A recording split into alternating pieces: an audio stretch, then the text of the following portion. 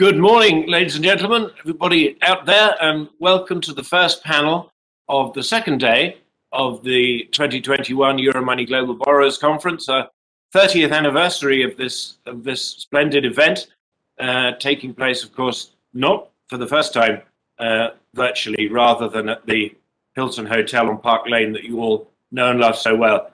Um, the panel topic in front of us now is a new start for European capital markets. And I think it's fair to say in this context, when we say European, we really mean Eurozone, because that's certainly what we're going to be talking about.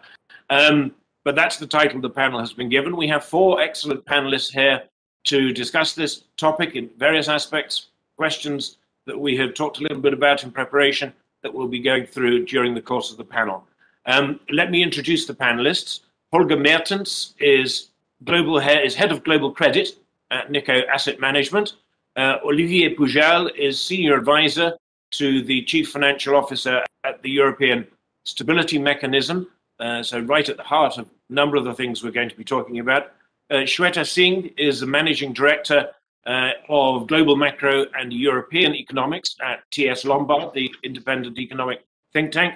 Um, and Katharina Utermöhl is the senior economist for Europe uh, at Allianz uh, Investment Management. So, welcome to you all. Thank you very much for joining us. Um, first question I just want to sort of put a number on this, roughly speaking. And Shweta, uh, I think you might be the person to help to supply it. What do we think? Obviously, there's a, an awful lot of funding needed in sovereigns and agencies and banks and so on. But I just want to get a sense of what you think the scale of the post COVID funding needs are for European industry, for, for Eurozone industry, let's say, or for EU industry. Right. Um, so I think uh, I will use the European Commission's forecast because, you know, um, they have probably done a lot more work on that than I could. Um, so using their the the forecast that they created last year, um, the, the the losses incurred by European uh, industries is, is likely to exceed 720 billion euros. And that was on their base case, which seemed quite optimistic at that point in time. And these losses could exceed to around 1.2 trillion uh, in the stress scenario. So that's the extent of losses that we are dealing with. Um, and that's within a, a year or so. So as as you see these these the furlough schemes being withdrawn and the the tax deferrals are no longer in effect, um, the and the and the impact from the the credit guarantees as they begin to expire from uh, the public credit guarantees, we will begin to see these pressures come through. No, absolutely. Um, I don't know if anybody else wants to comment on on that number, but the um, one thing that I, I think is is a is a possibility, um, a process that's been going on visibly for quite a long time, but the pandemic and the funding need that um, uh, that Shweta has just mentioned uh, one thing I think might become more, um, uh, what should I say, more, more notable um, is the shift of European companies away from bank lending, or the acceleration of the shift of European companies away from bank lending towards market funding. Um, I don't know what people think about that as an idea. Holger, do, do you see that as a, a obviously from you from from Germany, where obviously the, house bank tradition is still alive and well, but nonetheless, bond markets have become a more used financing option for corporates, even even in Germany. Well, I mean, if if you're looking back on the last ten years for for large caps and also for mid caps, you you have seen this trend already moving away from relationship uh, um, lending and and using different sources for funding. But I think for SMEs, it will be still pretty difficult to to move away from from the relationship bank because I mean, usually the the amount of debt and and and small cap needs wouldn't justify a bond issue. So I guess for for large caps and and huge parts of the mid cap sector, the bond market is is has become already an important source and will be increasingly an important source. But I think for for for SMEs, it will be really difficult to to move away from from from banking uh, from the banking sector for, to to to get funding. Katharina, what what's your view on this? Yeah, maybe um, to start off again with the financing needs, I think as Shweta said, absolutely the losses play a role. Um, buffers have been used up. Um, and on the other hand, um, you know, we're facing um, a rapid recovery. Firms need to prepare for that. So they need financing for that. And in addition, beyond the immediate short term, you know, they also need to ensure um, that they can um, adapt to changing economic needs. So to participate in the digital as well as the green transition, and that's going to cost money. That's uh, that will, um, you know, also require huge investments. So how do we get this money? It's it's great news that we have, um, you know, we expect by the end of the year, even after the consumption boom, still to have 500 billion in excess savings from households. So that's wonderful. You know, the money is there, but can it be transformed? Um, and we think that uh, capital markets in Europe still remain underdeveloped, so they cannot play this, you know, very necessary role at a time when banks also remain under stress. So that's a concern. Yeah, absolutely. Olivier, I mean, do you see? I, I've been talking about this topic now for about 15 years, I suppose, at conferences, and I've often referred to it as the Americanization of European corporate finance um, by which I mean switching, not relying on bank loans, uh, but going to markets. Do you, do you see this as an accelerating trend? Well, first of all, I, I fully agree with just what has been said. I mean, um, uh, companies in Europe are very dependent on banks.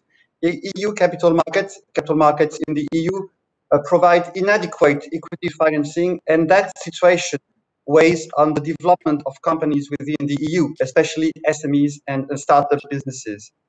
And the Capital Market Union initiative that was launched uh, in 2015 needs to ensure that EU companies can access more stable and long-term financing across the whole EU. Our chief financial officer and chief economist at the ESM wrote an extensive ESM blog uh, last June on that topic, explaining what needs to be done. Uh, I encourage anyone interested in CMU to read it. But regarding the financing of SMEs and startup businesses, I think in Europe, we need to develop venture capital and support private equity investors who they lack information about companies from uh, other EU countries and then tend to operate only at national level. And that's, that's a, a strong barrier. The Capital Markets Initiative should also, I think, facilitates the access to public uh, equity that too often remains uh, deterred by far-reaching obligations. These obligations are fit for the purpose of uh, uh big caps, not necessarily relevant for uh, SMEs. You're absolutely if, right, Olivier. And forgive me, but you, you, you've you obviously already made the segue I was about to make, make to talk about CMU and Capital Markets Union. And, and one other element which just does pop into my mind is do you remember there was a um, there were a number of initiatives towards sort of aggregated SME loans being securitized. Um, I think Commerzbank upset the uh, the Pfandbrief Association by doing a covered bond in in using those kinds of assets as collateral. Um, I guess we might see some more of those kinds of structures. But you, you rightly say, you rightly date um, CMU to 2015, uh, and in fact, um, the Commission on its website says the need said at the time, September 2015, the need to build a true single market for capital to strengthen Europe's economy and stimulate investment to create jobs is a priority. Now it's nearly six years after that. So um, the SME element of that, where you would have, you know, I remember people talking about, you know, you have Dutch, a Dutch fund lending money to a Spanish furniture manufacturer uh, exporter. Um, that feels to me still as far away from reality as it was then. Um, let's stick with you, Olivier. Why has it taken so long? What are the obstacles, and, and when could we see some action? Um, that's a lot of questions and a very brief answer, please. Yeah, yeah. Well, thank you, Chris. Uh, well, the, the, Capital Market Union initiative was, was part of the European answer to the global financial crisis a decade ago, alongside the creation of the banking union aimed at developing a true single market for capital. No question but that there have been some big achievements since 2015. I would uh, uh, mention, for example, the, the introduction of an EU passport for financial services, or the establishment of the European supervisory authorities, or the creation of the UCITS vehicle investment that is so important for the fund industry in Europe. But you're right to say that because of its complexity, project may have lost uh, momentum since 2015. Mm. But with the pandemic, the transition towards a sustainable economy and the departure of Europe's main financial center, London, have brought back CMU to the top of the European agenda. When appointed president of the European Commission, Ursula von der Leyen set the relaunching of the CMU as a key priority for a mandate. The CMU will be an enabler to deliver on other top priorities such as the European Green Deal and the creation of digital single market. So uh, in that context, the, the, the Commission published uh, a new CMU action plan uh, uh, back September last year. And that plan contains plenty of concrete actions to rebuild CMU, in particular for SMEs. It is now up to policymakers to implement them. Yeah, no, I, I saw that. Um, Katharina, do you have a do, you, do you share Olivier's stated optimism uh, that this is a soon come thing? Um, the European Banking Union got off to a reasonably quick start and, and was relatively trouble free in its implementation, but CMU has not been like that at all. What's your opinion? Yeah, I would agree more with that statement. I think I'd say that um, if anything, the last few years since 2015 have taught us the lesson that um, you know the backward-looking approach to CMU, so where you try to overcome deep-rooted obstacles to market integration by changing existing rules, is doomed to fail. And I think that um, you know even though we're faced with the crisis you know, um, or wake up calls such as Brexit or now COVID, you know, where where we need, you know, CMU more than ever. And everybody agrees CMU is a wonderful thing to have. Um, but we're just not, you know, the approach um, is not working. I think it's time to change course. I think we need to have a more forward-looking approach, define the rules for the future of finance, um, and uh, and not you know backward looking trying to harmonize everything so what's really important is to get the um, regulatory framework right for you know um, for the future of finance um, in Europe. And I think um, uh, you know one option here, for instance, could also be be pursuing the route of the 28th regime, you know, rather than trying to iron everything out. I think this approach should be acknowledged. It has failed, and we should get over that. Okay, um, Holger, how optimistic are, are you about CMU? Well, first of all, looking into the action plan, I think there are a lot of important points which which uh, the EU brought up. Like, I mean, harmonization of bankruptcy law is, is pretty important, particularly for a bond investor not just looking into the indenture and each time then judging if if what what means German insolvency law or what means French insolvency law for us. Um, I mean the, the speed of this developments. Um, well, I think there was some some lack of ambition in in the action plan in a way that there weren't hard deadlines set. So this this probably gives politicians a chance to to move away from from the points where where there will be arguments. So I mean, good good points made, but again, I mean, a bit in the direction of Katharina. So implementation will will be seen. I think there could have been more ambition from from the Commission, and also I think a CMU probably would would ideally work in, in tandem with with the banking union and, and this is another point where where speed is probably not not not at the highest at the moment i mean i think there was last week a meeting which again showed investors that that there will be more time needed to get a banking union done uh, as things like uh, a guaranteed deposit scheme are are are a hard nut to to crack for for for politicians, particularly in Germany, which which is stumbling with this point. But yeah, but you, you have to agree. There's been much more progress on on banking union than on markets union. Um, I think. Um, Shweta, let's let's turn to you. I mean, there's a sort of drumbeat in the background of many, many conversations at the moment, which is that pandemic, awful as it has been in, in all sorts of different ways, uh, and still is, of course, um, is going to be the catalyst for positive and beneficial change. Uh, and in a sort of e in an EU context, a lot of people are talking about, and we're going to come on to talk about um, things like perhaps the new um, the new markets, the new issuances, the new the new bonds, the new borrowing entities are going to be a catalyst for fiscal union, uh, for transfer union, for all of those kinds of things, for political union. Now, some people welcome that, and, and others, of course, don't. But there is this feeling that pandemic will cause uh, good things, or at least big things, to happen. Is Capital Markets Union going to be one of them? Um, yes. Uh, so, the as you said, you know, the pandemic has really um, surprised us in a bit on the positive side in terms of the the efforts made by the, the ECB to begin with um, to, to embark on the, the PEPP program, which sort of, you know, moved away from all the restrictions that its conventional QE program was grappling with. So that was a, a, bold step. And then after that, we had the, the tremendous progress on the recovery fund. So the pandemic has sort of opened up these new um, new positive uh, uh, venue, uh, new positive um, steps for the for, for the euro area in particular. Um, but we are, you know, to to to to say that we are really close uh, to a capital markets union would be um, would be a bit bit bit too optimistic at this point in time um, because first the recovery fund is not a permanent feature for instance um, of the uh, of the for the for the for Europe. Uh, it's still it's still uh, portrayed as a crisis uh, measure.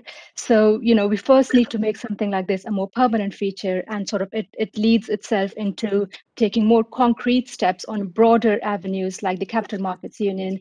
And as Holger was saying initially, um, these th capital market union, banking union, fiscal union, they all move together um, so they can't really move in isolation. We do see positive steps on on each of these sides, but it's not sufficient to say, you know, we are really uh, very close towards a capital market markets union, for instance. Is, is that is that the real problem? Have you put your finger on the main issue that capital markets union is is is a little bit of a fiction without fiscal union, and without, for example, things like Holger mentions, like like um, uh, harmonized bankruptcy laws, incredibly important. Exactly. So I think we we can't have these things working in, in, in silos. You know, these have to move together. And for instance, the we need to harmonize. Um, there needs needs to be more progress in terms of harmonizing regulations, be it on on on on taxation and on solvency laws. Also, um, a lot of progress needs to be made on the the supervisory framework. Um, yes, the the EBA is a great pro great step for the for the banking union, but when you actually look at the cross border lending. Uh, in, in Europe, it's actually not moved that far in spite of um, progress on the banking union. Um, and that brings us back to lack of confidence in, in, in say, in, in what we were talking about earlier, the, the depositors insurance scheme. Um, so I guess what I'm trying to say is there needs to be homogene homogeneity across the board um, for, for the capital market union to come, come, come in true force. Sure. Um, as it, I'm apolog- I apologize, the lights have gone out here. That's because it's a green office, uh, and unless people walk around in it, it thinks it's empty, uh, and so the lights go off. Um, somebody might come in and turn them on in a moment. Olivier, I think I'd better ask you to respond um, to what the others have just said, because not a great sense of optimism coming across uh, from Holger, Katharina, and Shweta. Yeah, I, I, hear the criticism and I understand some of them. I'm fully aware we are not there yet for the CMU, but I would, would not underestimate the, the will of the new commission. Yeah. And the new action plans, again, contains plenty of very concrete measures that when put together could be could make a big step forward.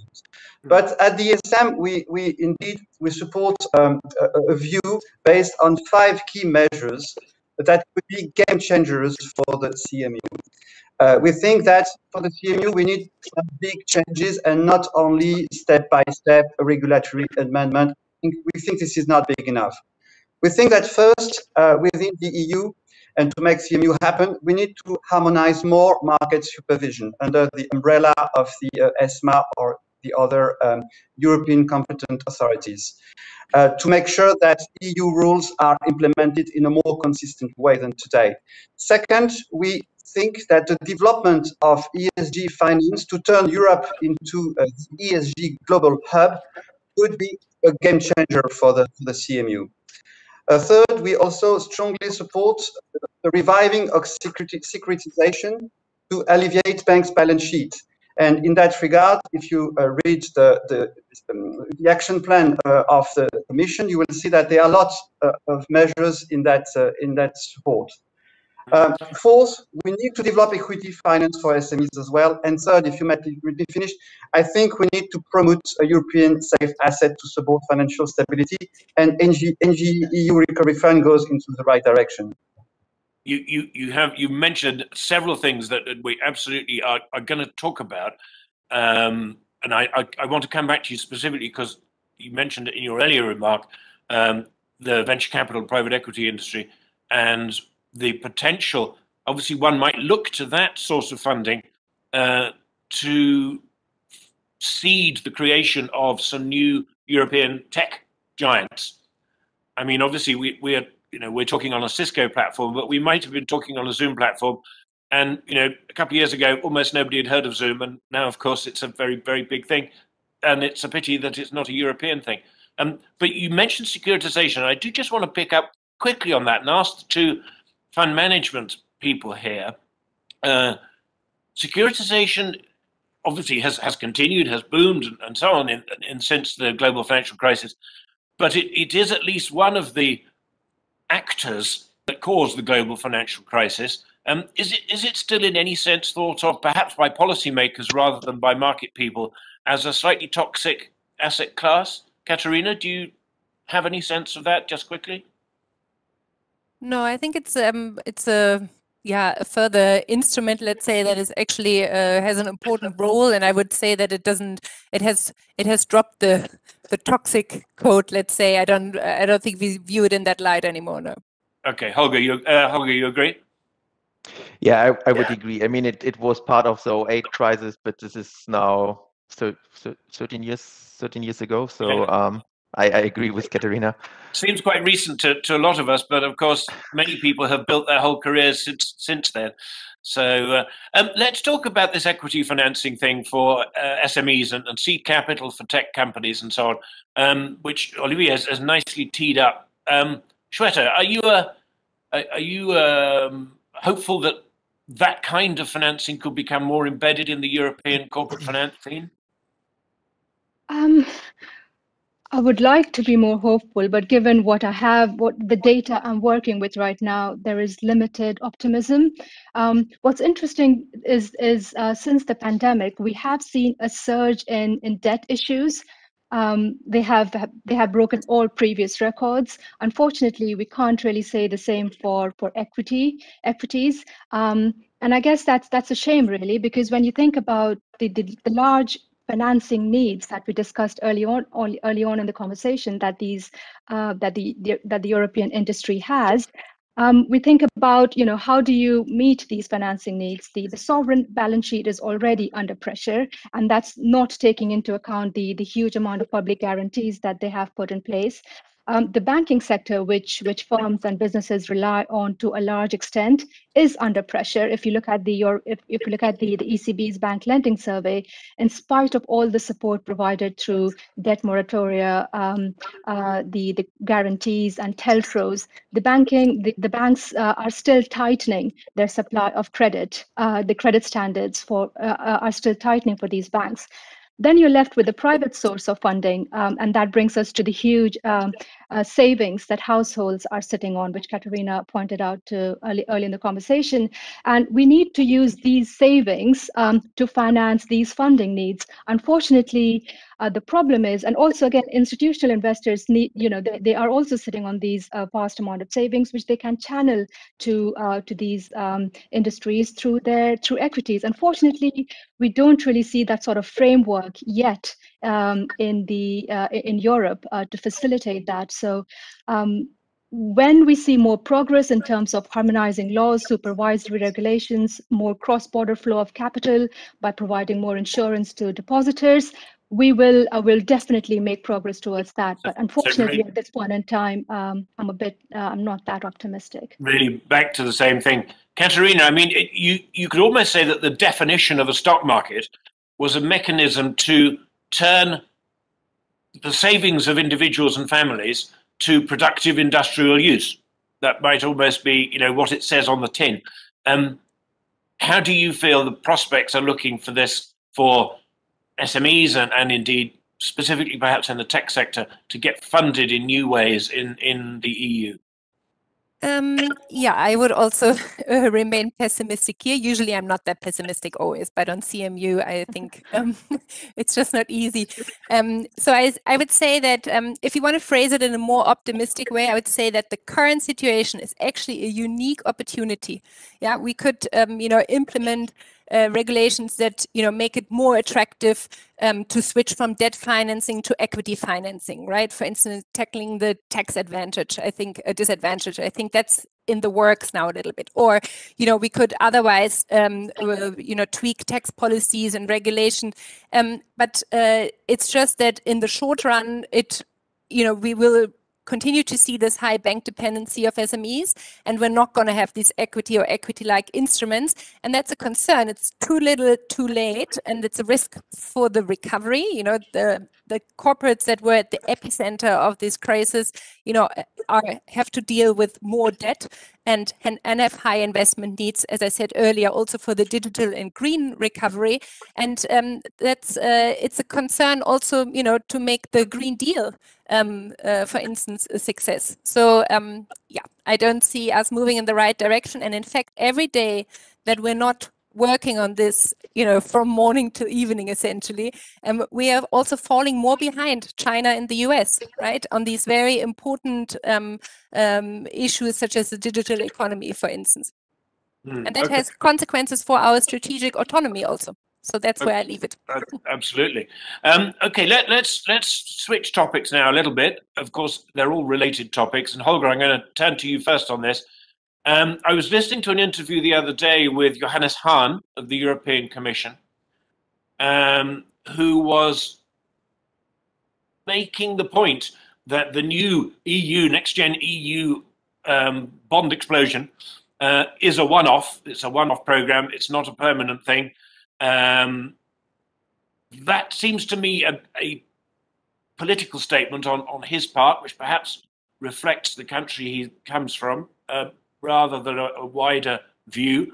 Um, I can see Olivier sort of slightly smiling as I as I say these words. I'm choosing them carefully. Um, but is is this the moment when Europe became sovereign? Do you think?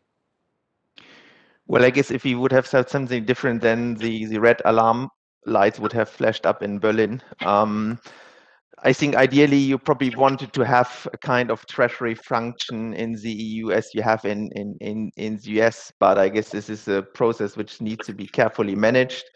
And and so I think for the time being it's it's a one-off temp uh, function to to solve the crisis if this will evolve into something more meaningful? Will be seen down the line? Depends on on also how the how the uh, political scene will develop in in germany after the election.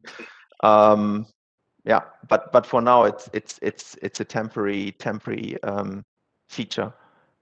Olivier um, things which start out as temporary features do have a, a habit of becoming permanent uh, I mean, one thinks of quantitative easing, for example, which was an emergency measure which is still with us.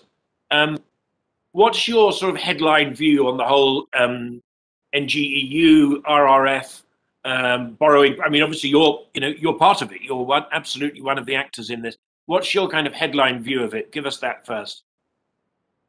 Well, I think regarding the, the 750 billion uh, uh, NGEU or Recovery and Resilience Facility, uh, it is a huge step forward for the EU. We, nobody would have imagined such an envelope, such a fund, uh, before the pandemic. You have to remember that this uh, envelope will be funded through bonds backed by the EU budget, and that was accepted by uh, the most reluctant countries in Europe. One of them was mentioned a minute ago. So this is a huge step forward. Nobody would have believed in it before. And that was not the only step forward. Uh, prior to this uh, uh, uh recovery and resili resilience facility, the EU, the European Investment Bank, and the ESM institution unlocked very early when the crisis started a 540 billion package of loans and guarantees to support jobs, businesses, and finance additional health expenditures. So I think the answer of the uh, European institution was massive and was a huge step forward. Nobody would have thought about it before. And I don't even mention the, the policy of the ECB that reacted very, very swiftly and strongly by lowering its interest rates or increasing very significantly the size of its bond purchase program, the PEPP, uh, program, which accounts today for 1,000, uh, more than 1,850 billion euros. This is massive. I hear some commentators saying that Europe has not done uh, as much as the US. I think this is very unfair because first you have to remember that European answers uh, come on top of what national governments do. And in Europe, we, we all know that we have a welfare system much more developed than in the US. And if you sum up everything, in 2020, uh, Europe, the EU, and national governments unlocked 3.7 trillion euros to support the economy. That support will continue, probably through the rollout of the uh, next EU Generation Fund over the coming years. I cannot tell you if this is this will be become permanent or not. I have no idea. I don't know at this stage. It's not the, the project, but Europe has made huge step forwards and uh, the European answer has been of the same magnitude as in the US. You're, you're absolutely right to, to highlight the, the fact that exist pre-existing social safety nets and so forth, social security mechanisms, um, which simply do not exist in the US, need to be taken into account. This is a hundred percent valid point. Um, Katharina, you, your company at least buys a lot of bonds. Um, how do you see this these new developments, this new development of a new European safe asset, um, affecting just leave aside the sort of macro or, or, even political aspects of it for a moment. How does it affect markets um, in the sense of you know reference rates, collateral pricing, um, this sort of implied piercing of the sovereign ceiling, which was always a you know always a, a kind of a key metric that people looked at. How do you see it affecting those kinds of things? Yeah, maybe just one sentence on the political implication because yeah. I'm German too, so I feel I, I, I, need to have a view here also. Um, I think that uh, I've called it once um, um, a fiscal union trial balloon.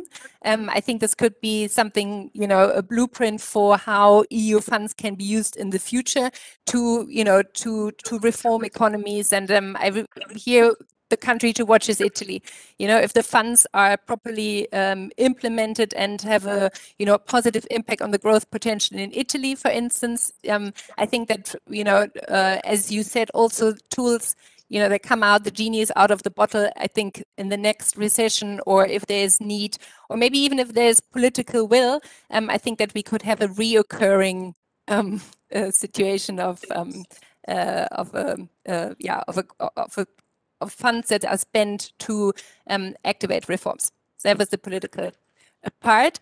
Um, on uh, on capital markets, yeah, building um, uh, building a, a, a, curve essentially here. This is really something that will help also uh, the euro, you know, in its uh, international role, its international standing. Um, uh, you know, it remains to be seen. For that, it would really, you know, we cannot really just have this as a temporary one-off. So um, uh, uh, for this to support the um, uh, the role of the euro. Um, I think this is the beginning, and let's see where we're going. Um, from the plans that are on the table at the moment, um, yeah, it will just be a temporary boost uh, to the euro as a, you know, in its in its standing in the global, let's say, currency order. But but I mean that that's a very good point as well. That the raising of the international into the internationalization of the euro, which is a stated policy aim that we've, we've all read and heard. Um, but, but just to stick with you for a second, what about those? What about things like the, the it will obviously um, change balances in the market completely. Uh, there'll be new pricing rate, new reference rates, and so forth. Um, the market's all ready for that. That would just all go without a hitch. Yeah, I mean, uh, what we see is that uh, you know, if there's a really new safe asset, it could weigh on peripheral uh, spreads, for instance, you know, um, this could come as a concern, I think. But uh, I could also imagine that here uh, fiscal and monetary policy will remain close collaborators. So um, that, for instance, uh, uh, going forward, the ECB may announce that it will um, uh, buy, you know, some of these um, EU bonds um, as part of its supranational um, uh, uh, buying spree, let's say. Um, so I think uh, overall it really helps to yeah to reinforce the the economic or the the fiscal and economic response of the of the eurozone. Okay. I think the initial his initial launch of the the bond were bonds were a success so far, so they were yeah, absorbed yeah, by the market pretty pretty easy. Um, just to highlight this. Yeah, certainly. And the, the debut debut was was very successful. Shweta, um, comment on what others have said and on, on the fundamental question. But I also just like because you're the independent economist here, for you to give a sort of five word answer to the implied question which Katharina has just raised, which is are fiscal and monetary policy now the same thing? Um, I'll, I'll, I'll try to put it this way. I don't think it's become very, very clear, um, and never has this been so clear as during the pandemic, that monetary policy cannot have um, the same impact in the absence of fiscal support. I mean, that's that's very clear.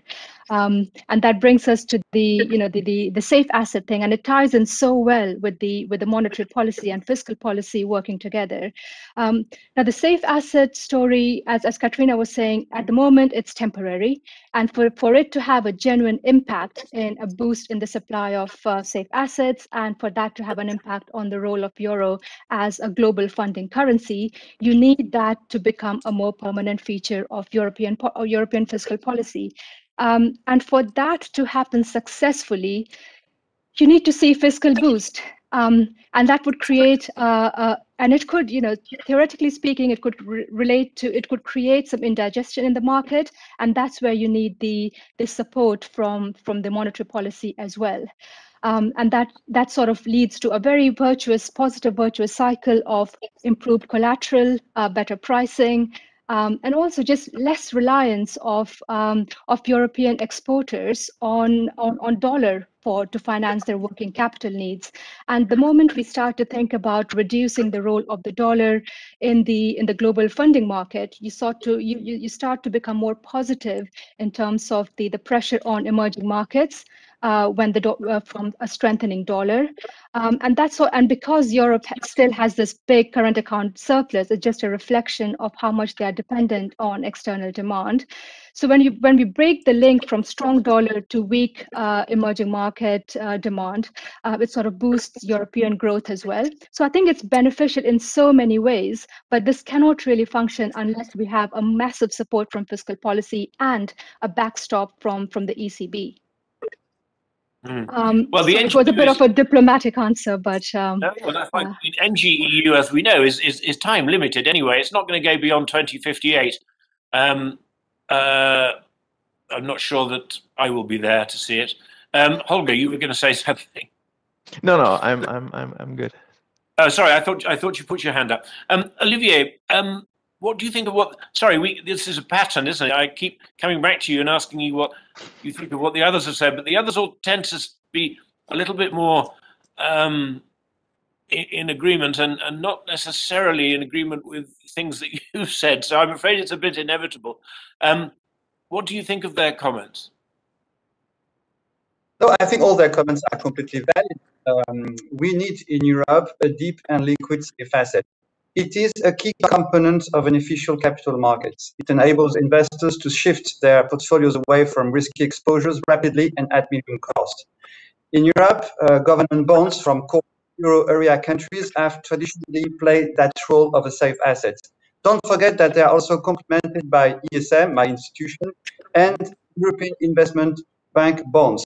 And also EU bonds. EU uh, was uh, has been issuing uh, some bonds for, for years before the NGEU yeah. was in. Um, we need a, we need a bigger safe asset. There is we need more of them for sure. First, to support financial stability, uh, to enable banks, European banks, to substitute their holdings of national government bonds with that European safe asset. Uh, with such diversification, we would reduce the spillover of risk between the sovereigns and the banking sector, known as the bank sovereign nexus. That you... Absolutely. We also need a, a European safe um, to uh, reduce the dependency of the private cost, uh, the private borrowing uh, sector uh, cost, uh, which are reference to sovereign yields. Um, more European safe asset would reduce the vulnerability of the private sector to re-rating of credit sovereigns. And finally, of course, uh, a deeper and more liquid safe asset would contribute to the international role of the euro. We are not there yet. That's a fact. We are not. Of course, it's the first. It's the first time that investors have been able to buy uh, European euro safe assets at the short end of the curve as well. I mean, it, there's undoubtedly yeah. it, it, it creates a whole new layer of liquidity, whole new secondary market. Uh, fantastic from that point of view, without question. Uh, I think that the sort of macro and political things underneath it are, more perhaps what gives some of the panelists concern. Um, right, we, have got um, two and a half minutes left. So I'm just going to ask each, each of you really, really quickly to tell me what is the answer to the question um, that uh, was the last one on my list that I distributed to you. We didn't get, as predicted, to all of those questions. Um, but the, this pandemic has obviously shown that markets and the global financial system are pretty resilient. Um, you know, that, that's been good. Um, what's the next big risk that we can't see? You've got 30 seconds each to tell us. Holger, let's start with you. Well, I, I didn't saw the pandemic coming, and I, I, certainly don't know what the next next thing is. So what we focus is on on creating robust portfolios which halfway work through this crisis. I mean, one one thing of concern is clearly what what the uh, move to sustainability means for some some sectors. I'm some bit concerned about the the oil majors and if they will be still double A in in the future, or if this is moving to a triple B, double B industry because of the changes. Okay, so Holger's worried about his oil stocks. Fair enough. That's okay. Um, Katharina. Um, I agree. Probably everything that we say now will be trumped by something that we're not you know that we're not mentioning. Um, but um, the other thing i think that is interesting is something that we see every day namely the exuberance in markets um, and um, we see it and i think this is actually one of the key concerns for us. So it's like it's basically an endogenous or risk that's endogenous to markets. Um, there's been a lot of to me at least, concerns around financial stability, also as a result of uh, the loose monetary policy. And um, yeah, we think markets have gone a little bit wild, and uh, there's a risk um, time, for this to time, end. Time to take away the punch bowl. Olivier, 20 seconds from you, please. Yeah, well, I will be very quick. I think we are not out from the pandemic crisis yet, unfortunately. Of course, we are more confident than some weeks ago, thanks to the success of the vaccine campaign, notably in Europe. But as long as the vaccine has not uh, been rolled out uh, to the entire world, we are still facing the risk that it comes back and then with the new social, financial, and economic. Of course. Uh, now, Shweta, I've always said to economists, make a prediction because if you're right, you can remind us, and if you're wrong, nobody will remember. So you've got 15 seconds to make one. Um, oh, okay. I, I'll, I'll say, I think the bigger, the big risk, um, not thinking about, you know, the the big uh, stuff like pandemic, the bigger risk for me at the moment seems to be this diverging growth path between the US um, and Europe. Um, and perhaps the rest of uh, perhaps other emerging markets as well. And because global assets are priced off US yields, I think it could lead to uh, disruptions. Um, and that will test the resolve of, of the ECB, for instance, um, and, and European, European authorities to step in, uh, even as they even as uh, Europe has went gone past its uh, pandemic phase. So I think that for me uh, is something I'm monitoring. Shweta, thank you very much indeed. Shweta, Katharina, Holger, Olivier, it's been a great pleasure. I'm sure the audience have enjoyed it enormously. Thank you very much indeed. The next panel is on Asia's uh, changing role in the global economy. Uh, so we move over to the other side of the world. But thank you very much for joining me, all of you panelists and you out there in the audience. Thank you.